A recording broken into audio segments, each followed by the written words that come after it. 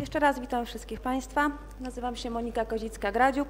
W odniesieniu do roku 2018 chciałabym poruszyć temat, który być może jest już trochę zapomniany, albo bardzo chciałby być zapomniany przez większość tutaj obecną, czyli temat Lubelskiego Klubu Jeździeckiego, którego mam zaszczyt być prezesem.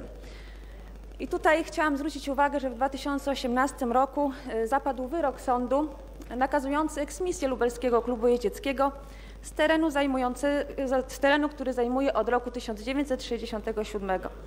Stowarzyszenie LKJ działa już od roku 1962, więc moim zdaniem dla miasta Lublina jest tak naprawdę historyczną perełką. Nie wszyscy niestety podzielają tą opinię. E, jeżeli chodzi o tą decyzję sądu, sąd e, zdecydował się na w podsumowaniu tej decyzji bardzo ważne stwierdzenie, które w odniesieniu do tego, co Państwo robili jako radni, jako władze miasta, e, jest moim zdaniem bardzo istotne. Pozwolę sobie zacytować opinię sądu. Ubocznie i końcowo wskazać należy, że ze smutkiem i żalem należy odnieść się do braku reakcji i wsparcia ze strony władz miasta dla działalności, która wiele lat służyła miastu i jego mieszkańcom. Nie można oprzeć się wrażeniu, i to jest chyba klucz tego, co chciałam Państwu przeczytać, że podejmowane działania skazały LKJ na niebyt. Działania, o których tutaj mówi sąd, to jest przede wszystkim decyzja Rady Miasta z września 2013 roku, w której to Państwo zdecydowaliście o oddaniu terenu pod władzę Mosiru. Część z Państwa była wtedy też we władzach e, miasta, część Państwa nie. Prezydent w tym czasie zapewniał mnie osobiście, prosto w oczy mówiąc, że Mosir będzie nam we wszystkim pomagał, że LKJ ma być e, rekultywowany, mają być inwestycje, a Mosir jest ku temu najlepszym e, podmiotem. Kiedy okazało się dosyć szybko, że tak nie jest, próbowałam po raz kolejny spotkać się z panem prezydentem. Po raz kolejny zapewnił mi prosto w oczy i tu, panie prezydencie, muszę panu powiedzieć, wreszcie mogę, bo starałam się kilka razy. Okłamał mnie pan wtedy, panie prezydencie. Mosir nie zrobił nic, żeby nam pomóc, wręcz przeciwnie, zrobił wszystko, żeby nas, tak jak stwierdził sąd, spuścić w niebyt. Aczkolwiek jeszcze walczymy. Część z Państwa, która ma być może odmienne zdanie na temat, że klubu ma tam nie być i ma się wynieść jak najszybciej, być może zechcą podjąć jeszcze jakieś inicjatywy, o których w dalszych słowach pisze sąd. Sąd w niniejszym składzie czuje się jednak w obowiązku zasygnalizować, że może warto byłoby poddać publicznej debacie projekt. Chwileczkę. Rewitalizacji terenu nad rzeką Bystrzycą z uwzględnieniem funkcjonującej stadniny koni i klubu jeździeckiego w takich czy innych ramach i kształcie.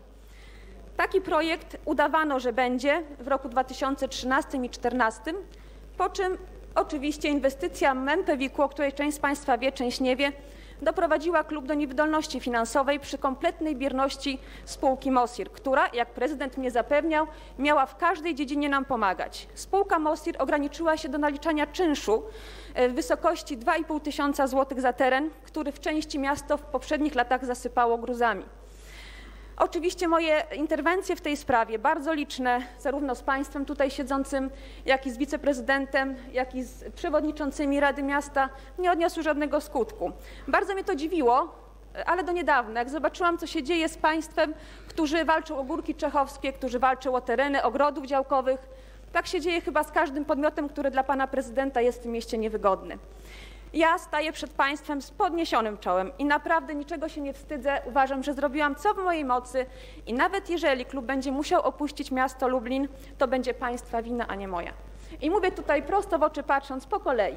Pani, z którą się spotykałam, pani radna Orzechowska, pani Rywka, Państwo z klubu Wspólny Lublin, już nie będę wszystkich wymieniać, e, pan Krawczyk, który też miał ciekawe pomysły, ale na tym się poprzestało, pan Nowak, pan prezydent, który zasugerował mi, że jestem nieudolna, ponieważ nie potrafię zdobyć pieniędzy na rewitalizację klubu. Proszę Państwa, jeżeli tak ma wyglądać współpraca samorządu z miastem, e, stowarzyszeń z miastem, to naprawdę może lepiej, żeby ten klub się stąd wyniósł, bo tutaj nie ma żadnych szans na rozwój.